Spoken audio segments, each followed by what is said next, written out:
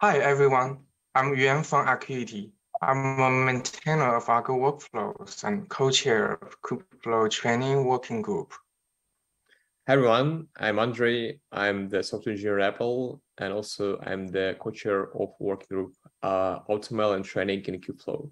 So today we're going to speak about how we leverage Argo Flow in Katib and how we can manage thousands of automated machine learning experiments uh, with this integration.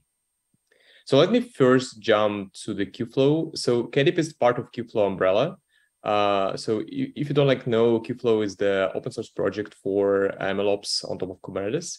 Uh, Kubeflow contains different uh, components uh, to perform uh, different way of ML activities, such as uh, has a known solution for notebooks, Jupyter Labs, also has the components for distributed training operator with wide support of open source uh, ML frameworks such as TensorFlow, PyTorch, MXNet, XGBoost, and MPI.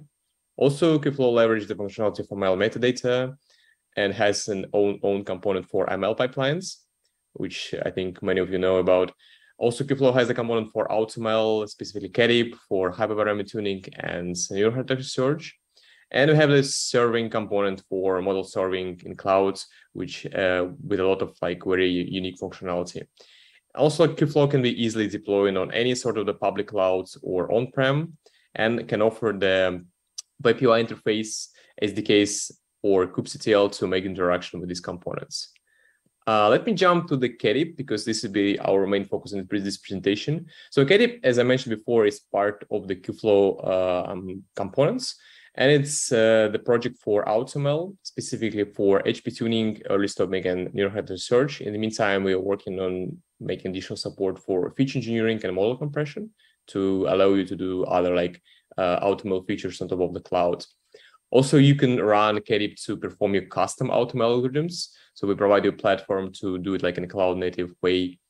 Also, we can uh, have a unique feature to actually orchestrate any Kubernetes custom resources. And I will just jump to this to the next couple of slides, how we can do it. And since we run on top of the Kubernetes, we are like agnostic to ML frameworks, and we have a native integration with Kubeflow components such as training, notebooks, and the pipelines. So jumping to the Katib architecture, it's quite straightforward. So when the user submits the experiment, we have the experiment controller, which is reconcile this experiment. Uh, and then we have a suggestion controller, which is responsible to spawn the algorithm service. When the algorithm service is the uh, completed the coupled service, which is produce the hyperparameters based on the experiment specification. Then these hyperparameters pass to the trial controllers, and trial controller basically spawns trial in the parallel execution. So we have a unique feature to support any type of the trial uh, worker to be run as a trial, whether it can be a simple Kubernetes job, TF job, or even Argo workflow. And in this worker, you basically produce the training, and then we have a metrics collector, which parse the necessary uh, necessary metrics from the workers and send this met uh, send this metrics to the DB. Then these metrics pass back to the experiment controller, and uh, they, we're getting this evaluation results to the algorithm service uh, to produce new hyperparameters. This process repeated again and again. Uh, when the hyperparameter tuning job is finished, uh, user can get the best hyperparameters and use them in production training. So jumping to why we actually need Argo and what is the current problems we have. Uh, the main problem that um, in the evaluation step, in hyperparameter tuning, we have a couple of problems, such as usually the training process is not like quite straightforward when you can just perform a simple job to run your training. Maybe you need to run some pre-processing data, maybe you want to run some post-processing data, and all of these steps can be done during your evaluation. So basically, uh, the simple Kubernetes job uh, doesn't like uh, give us the functionality to cover all of these problems. And that is why we moving forward to using the complicated workflow such as Argo to be able to um, uh, resolve these issues. Also have problems with the multi-objective optimization when we want to tune uh, tune experiment in the different objective. And also we can do some parallel training with which Joanna will be talking about in the next couple of slides.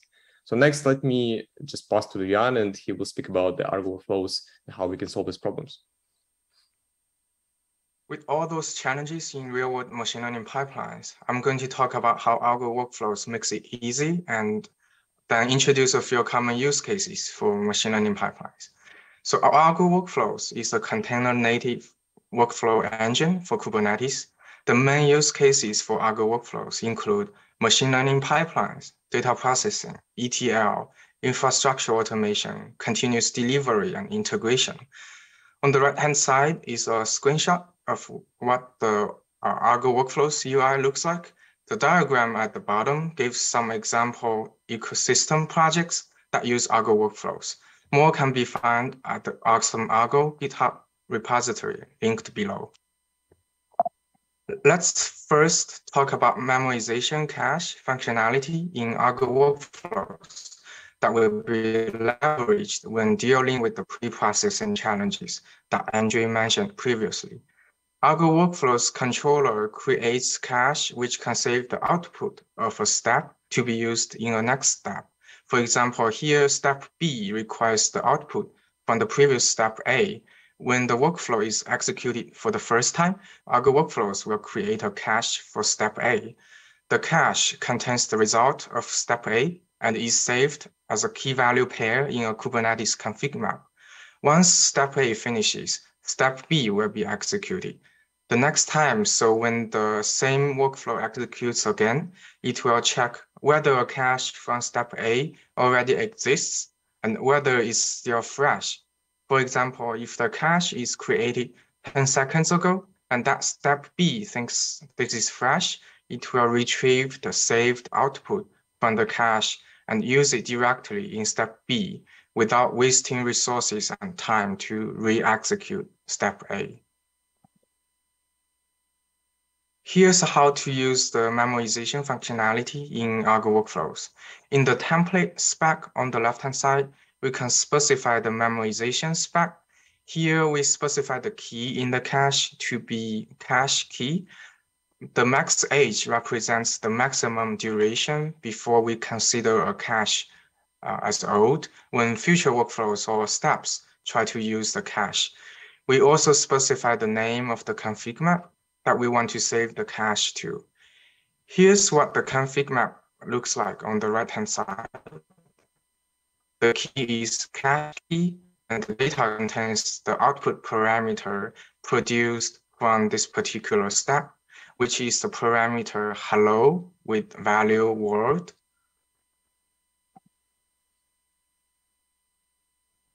Let's take a real-world machine learning workflow as an example to see how memoization can be leveraged. Assume that we triggered a Katib experiment that executes a machine learning pipeline using Argo workflows. A simple machine learning workflow may look like this.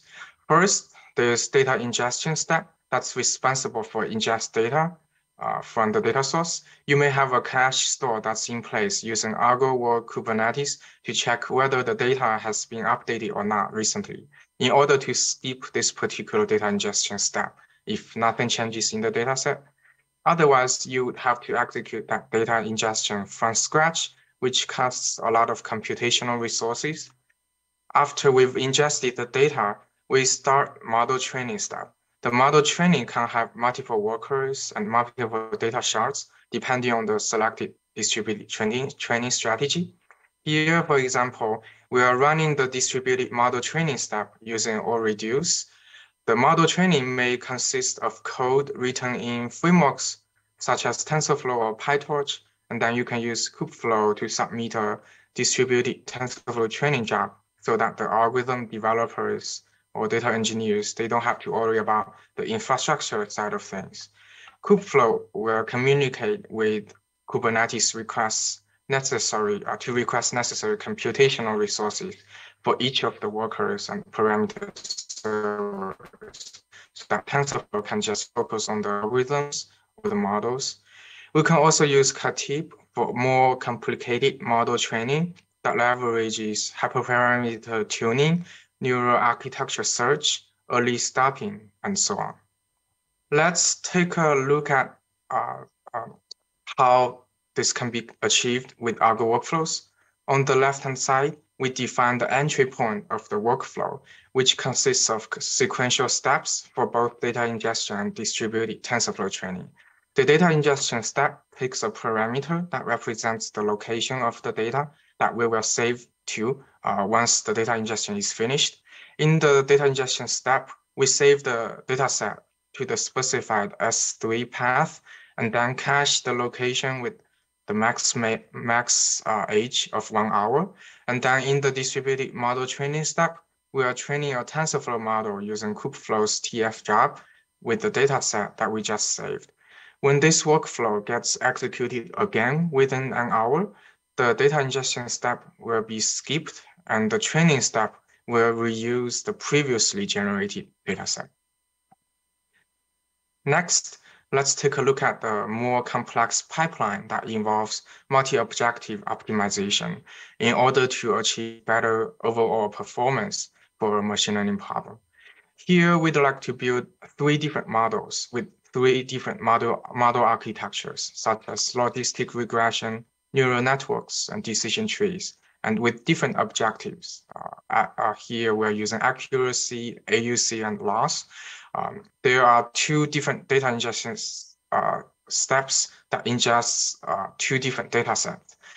The decision tree model will use the different data set and the other models.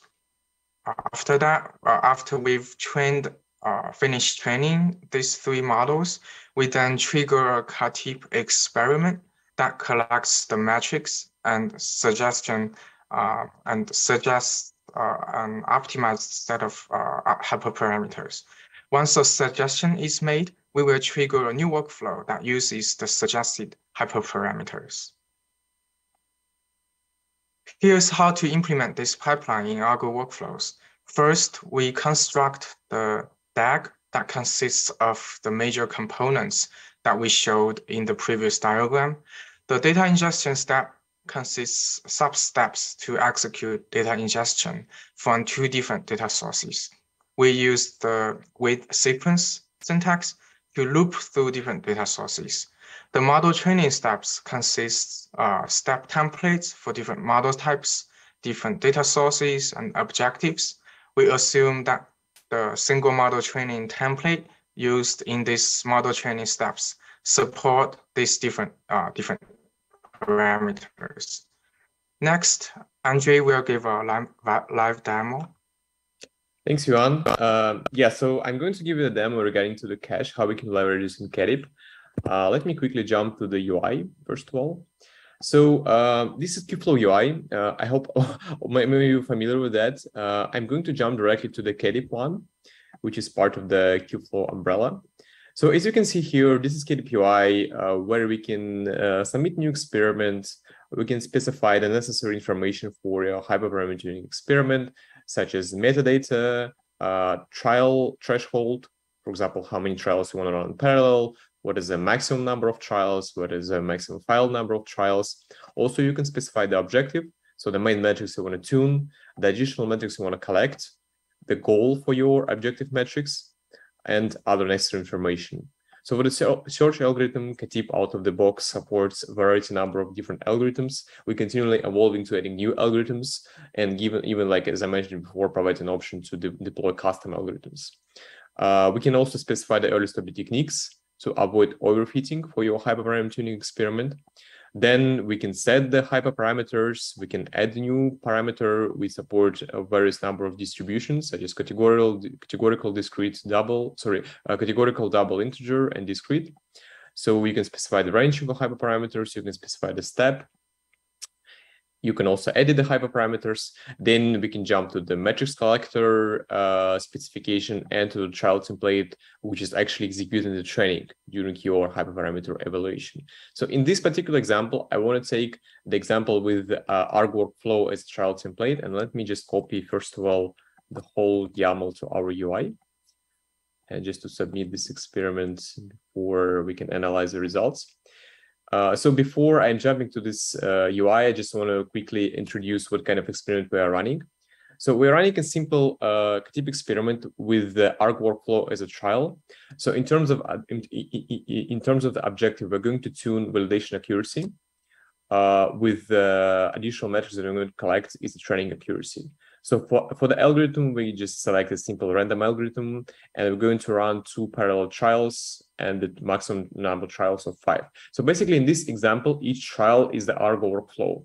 So we're going to trial, we're going to spawn the separate Argo workflow in parallel and going to execute the, uh, the workflow inside the Argo, uh, inside the Argo workflow. So basically we're going to tune learning rate and uh, with these kind of ranges. And let me jump directly to the trial template.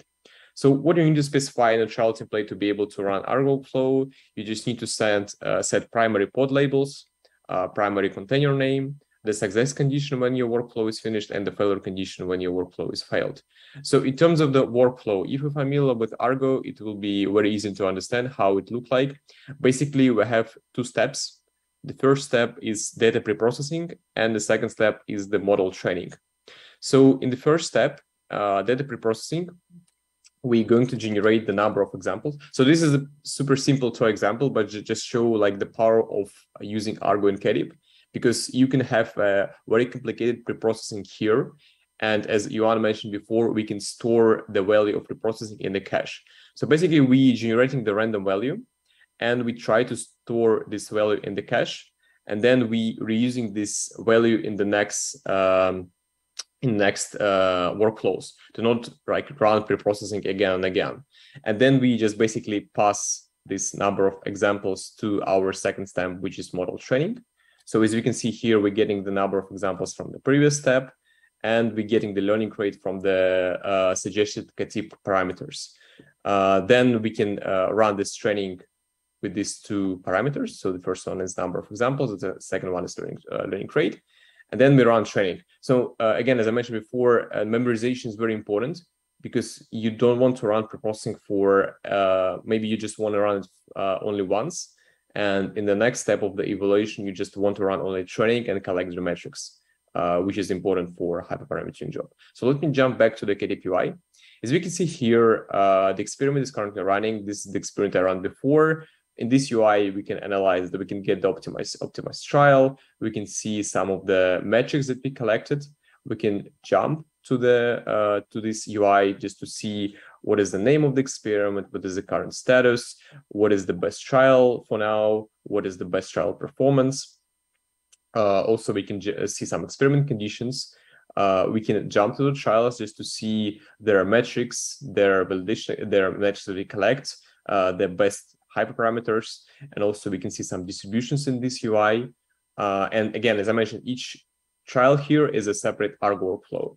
So uh, we can jump even to the Argo workflow UI. And we're going to see that, for example, let me take one of the Katib trials. So for example, this one. And we're going to see this, this is like represent the whole Argo workflow. And inside Argo workflow, we have uh, different steps. So let me jump to the one of the uh, one of the workflows here.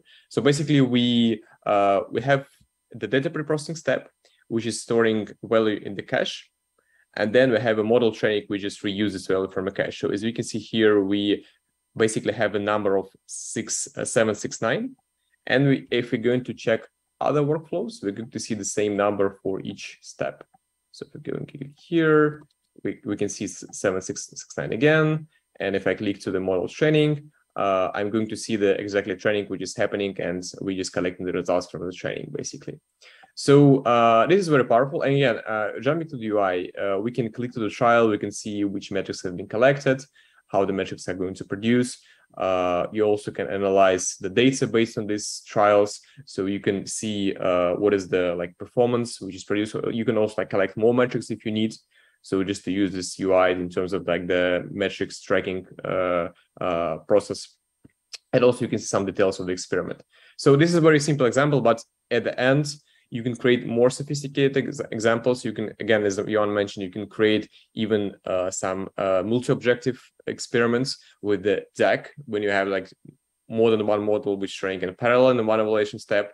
And you can even run whatever you want, which Argo workflow offers. So let me jump back to our presentation.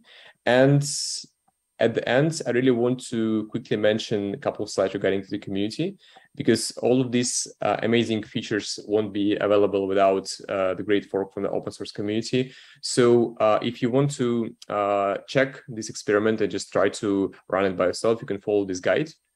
Uh, also, I strongly encourage you to uh, join the Argo Workflow and Katib community meetings. So, so we meet almost every week and we're pretty open to the new contributors. We're pretty open to the new proposals and the feature requests that uh, we can integrate in our projects. Also, please uh, check our GitHub repositories, our Slack channels, and if you're using Katib or Argo, please update the adopters list. So we really want to have interaction with the customers to see what kind of pain point you have and what is should be our like next roadmap. And if you want to learn more about Katib, please check this presentation list um, to learn about more about AutoML and how use it in the, within Argo. Uh, and just at the end, uh, please feel free to um, to uh, just ping us if you have any questions. I'm more happy to answer all of your questions. With that, thank you so much for listening us. We're more than happy to answer all of your questions.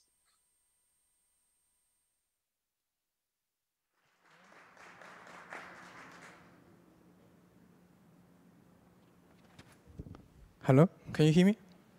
Okay. Thank you everyone for, for watching our pre-recorded video today. Um, so uh, Andrey will be on our ArgoCon Slack for any offline discussions and questions, and I'll be here for uh, Q&A. Um, yeah, let me know if you have any questions and I can answer them now. Uh, raise your hand if you have any questions. No questions?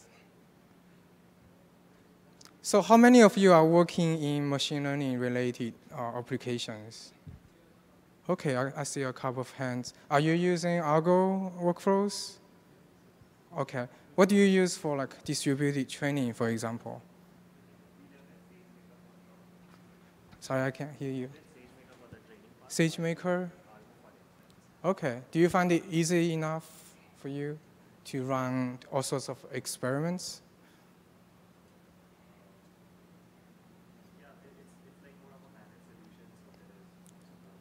Okay. Uh, yeah, I, I hope you guys uh, will try out uh, many of the sub-projects available in Kubeflow.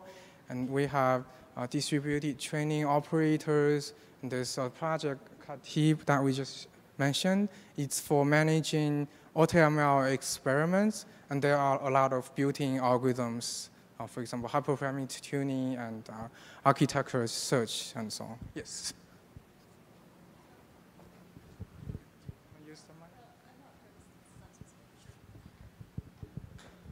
Um, I have an intern uh, pursuing a master's degree, and we have him doing a machine learning um, research project, but I don't think he's picked his um, tech stack yet, actually.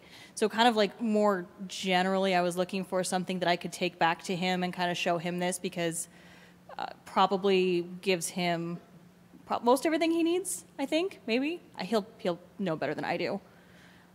So like, like just like basic, um, like some of the same stuff you showed here. Is there any of that like I could like, is it going to be basically like a, like I could get like your Slack information or something and like introduce him so he could maybe get some help with his project?